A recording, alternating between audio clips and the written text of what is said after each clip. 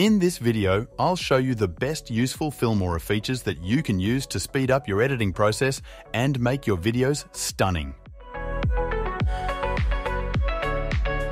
Before moving to the video, I'd like to remind you about the Filmora giveaway that's happening until September 1st. To participate, simply like their video, leave a comment, and tag a friend for a chance to win amazing prizes and rewards, which included a monthly Filmora license, 15 will get a smartphone vlogging kit, 4 DJI wireless microphones, and 1 GoPro Hero 11. For further details, please click on the link in the description. The first item on the list is silent detection. When recording audio, there are often many silent moments that can be time consuming to remove during editing. However, with Filmora, you can now remove these silent moments in just a second. To do this, select your video navigate to the Smart Edit tool and select Silent Detection. You can adjust the settings if needed, but the default settings are sufficient for most cases. Then, click on the Start button and Filmora will automatically remove the silent areas and create different layers. Once you are finished, click on the Finish and Replace button. As you can see,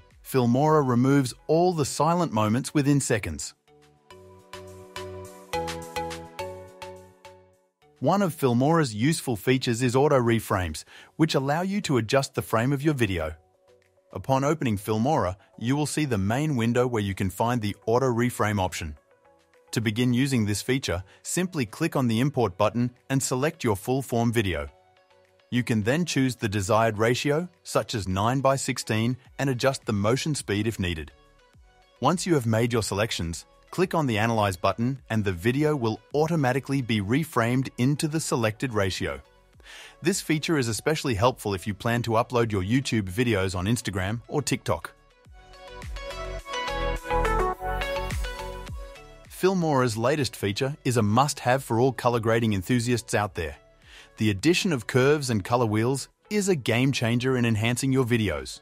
With these tools at your disposal, you'll be able to achieve breathtaking results in your colour grading process.